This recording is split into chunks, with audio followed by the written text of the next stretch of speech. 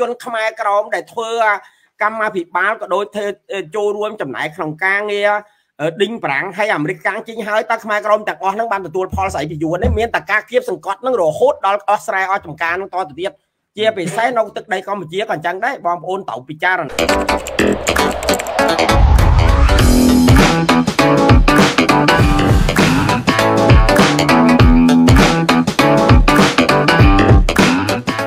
ឡើងតិចដែរថាខ្មែរក្រមយើងដោយសារយើងវាអត់យល់ប្រវត្តិសាស្ត្រពិតប្រាកដហើយឲ្យជ្រួលជ្រាបនៅក្នុងចំណោមដែលប្រវត្តិសាស្ត្រហ្នឹងវាច្រើនលើកច្រើនគ្រាមកហើយខ្មែរក្រមយើងមិនត្រឹមតែខ្មែរក្រមទេបានចូលរួមចំណែកក្នុងការងារតស៊ូដើម្បីដេញប្រាំងដេញអាមេរិកកាំងហ្នឹងចេញពីប្រទេសដើម្បីឲ្យអំណាចហ្នឹងមកលើការបែងចែកហ្នឹងរវាងខ្មែរក្រមនិងយួនប៉ុន្តែឥឡូវប្រជាជនខ្មែរក្រមដែលធ្វើ កម្មាភិបាលក៏ដូចធ្វើចូលរួមចំណែកក្នុងការងារដេញប្រាំងហើយអាមេរិកកាំងចេញហើយតើខ្មែរក្រមទាំងអស់ហ្នឹងបានទទួលផលស្អីពីយួននេះមានតែការគៀបសង្កត់ហ្នឹងរហូតដល់អស់ស្រែអស់ចំការហ្នឹងតទៅទៀតជាពិសេសនៅទឹកដីកម្ពុជាក៏អញ្ចឹងដែរបងប្អូនត្រូវពិចារណាត្រង់កន្លែងយួនហាណូយហ្នឹងមិនមកវាយទឹកដីកម្ពុជាក្រមនៅអឺវៀតណាមខាងត្បូងយើងហ្នឹងក៏សុំដីខ្មែរគេហៅថាដឿងម៉ងហូជីមិនដែរអាដឿងម៉ងហូជីមិនហ្នឹងកាត់ពីប្រទេសលាវចូលមកស្រុកខ្មែរយើងទីបំផុតខ្មែរយើង ដែលចាញ់បោកយួនហ្នឹងរហូតដល់បច្ចុប្បន្នហ្នឹងរត់ដំណោះស្រាយមិនចេញផងគឺថាពួកអាយួនដែលនាំគ្នាមកជីកតាំង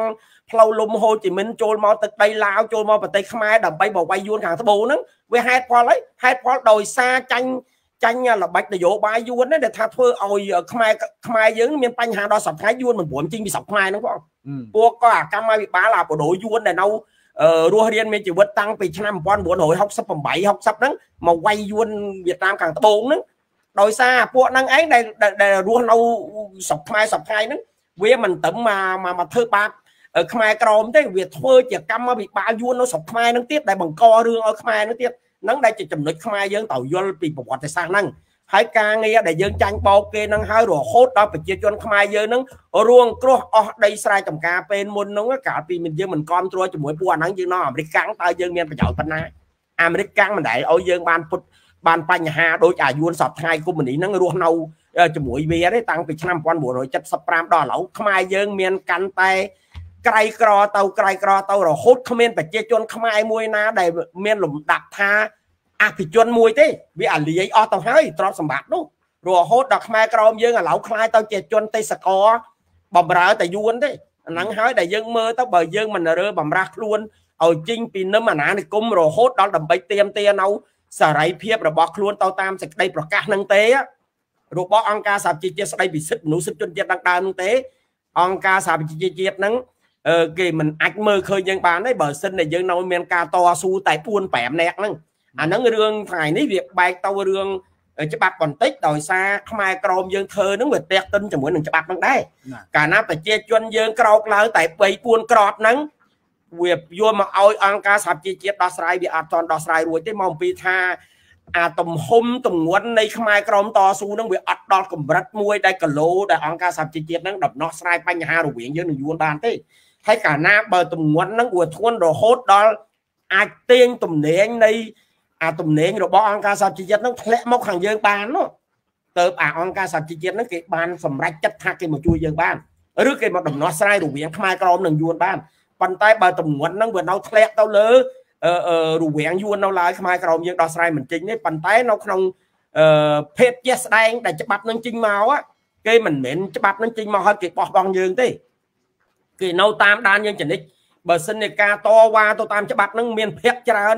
រហូតដល់ខ្មែរក្រមដូចបងមានប្រកាសមិនអញ្ចឹងបងវិរិយអឺវិរិយធម៌មកប្រកាសមិនថាឲ្យសុំមួយលានអ្នកចេញមកដើម្បីឲ្យខ្មែរក្រមនឹងមានអំណោយទៅជូនអង្គការសហជីវជាតិឋានការមិនពេញចិត្តរបស់ខ្មែរក្រមមានដល់មលានអ្នកមិនមិនមិនព្រមចោះញោមទៅតាមអាលទ្ធិកុម្មុយនីរបស់យួនដែលកំពុងធ្វើមកលើខ្មែរក្រមទេនោះហើយដែលជាចំណុចមួយដែលធ្វើឲ្យតម្ងន់នឹងវាអាចធ្លាក់មកលើខ្មែរក្រមបានកាលណាតម្ងន់ទំនាញនឹងវាទេងមកលើខ្មែរក្រមអង្គការសហជីវជាតិនឹង អាចចំណូលទឹកនឹងវាហូរជះមកខ្មែរក្រមហើយពេលនោះខ្មែរក្រមត្រូវបានចាក់ខុវិស័យរបស់អង្គការសហជីវជាតិនឹងវាចម្លាញ់មកយើងហើយអញ្ចឹងបើយើងចង់ឲ្យភាពអស្ចារ្យរបស់យើងកើតឡើងភាពជោគជ័យរបស់យើងនឹងអាចទៅបានវាទល់តែយើងធ្វើហើយបើយើងធ្វើនៅកម្រិតតិចតួចអញ្ចឹងយួននឹងហើយដែលមើលឃើញនៅចំណុចខ្សោយរបស់យើងថាពេលនេះយើងមានការគ្រប់គ្រងពី ប្រជាប្រដ្ឋខ្មែរយើងនៅក្នុងស្រុកតិចតួចខ្លាំងណាស់អញ្ចឹងហើយការកើតឡើងអ្វីមួយដែលចេញពីសកម្មជនយើងវាធ្វើបាបយ៉ាងណាក៏បានដែរមកអំពីវាមើលអាទម្ងន់ហ្នឹងវាមិនតន់ដល់គីឡូដល់ថ្នាក់វាទៅបានអង្គការសហជីវជាតិនឹងយកវាទៅកាក់ក្តីឬក៏យកវាទៅថ្កល់ទោសឬក៏ដាក់ទរណកម្មអីដូចស្រុកខ្មែរបានឡើយទេអញ្ចឹងកាលណាយើងធ្វើច្រើន អាទនកម្មដែលកើតឡើងអំពីច្បាប់អង្គការសហជីវជាតិស្ដីពីសិទ្ធិមនុស្សនិងសិទ្ធិជនជាតិដើមហ្នឹងនឹងធ្លាក់មកទឹកដីកម្ពុជាក្រោមហ្នឹងហើយហើយនឹងទទួលបានផលទៅតាមសេចក្តីប្រកាសហ្នឹងនៅតាមមួយមេត្រាមេត្រារហូតដល់កិច្ចការមួយចំនួនដែលយើងត្រូវធ្វើហ្នឹងมันប៉ះពាល់ដល់ការងារภาคវិន័យរហូតដល់ជនក៏ដូចជាបេសកជនវាមកនៅតំបន់ទឹកខ្មៅហ្នឹងមកអំពីខ្ញុំឮដំណឹងថាយួនបន្តិចទៀតគេអភិវឌ្ឍតំបន់ទឹកខ្មៅហ្នឹងคล้ายទៅជាបេកប៉ាល់មួយធំណាស់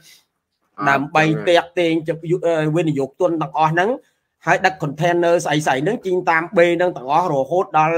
គេទៅប្រើមនុស្សហាណូយហ្នឹងមកត្រៀមលក្ខណៈដើម្បីធ្វើការងារនៅតំបន់ហ្នឹងទាំងអស់អញ្ចឹងនិយាយរួមទៅខ្ញុំគិតថាយួនហាណូយហ្នឹងវាគិតថាខ្មែរហើយនឹងយួនវៀតណាមខាងត្បូងហ្នឹងมันគ្រប់សមត្ថភាពដូចពួកវាទេអញ្ចឹងវាយកសកម្មជនវាមកទុកនឹងហើយដល់ពេលអភិវឌ្ឍដល់កម្រិតណា វានឹងយកជនជាតិហាណូយដែលយួនហាណូយហ្នឹងយកមកគ្រប់គ្រងនៅទីនោះតែម្ដងនោះជាការងារបង្កាត់ពូជសាសទុកទៅហើយអាចជារឿងមួយជារឿងហ្នឹងខ្ញុំខ្ញុំឮសូរដ្ឋបាលយួនហ្នឹងគឺចេញគម្រោងហើយហើយអាអនាគតខាងមុខខ្លីហ្នឹងនឹងកើតជាបេកប៉ាល់មួយនៅតំបន់ហ្នឹងតែម្ដង